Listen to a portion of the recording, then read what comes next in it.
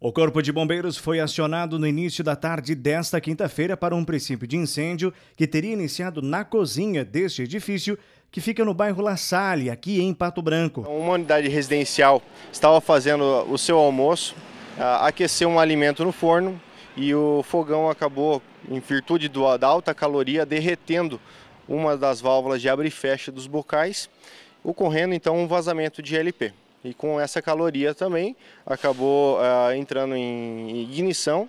Então, uma pequena chama aí na, na região da, do fogão, mas que já gerou, sim, um susto na família.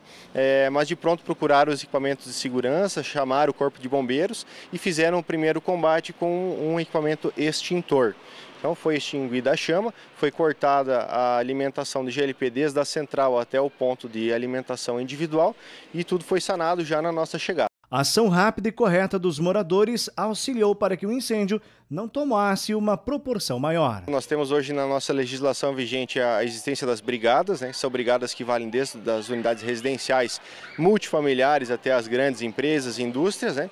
Tem também a conscientização do usuário do espaço de saber onde está o extintor, saber que medida adotar em um caso desse, de princípio de incêndio, aonde está a sua central de gás, aonde está o seu medidor de gás, para poder sim fazer o fechamento de segurança em um caso de ocorrência como esse.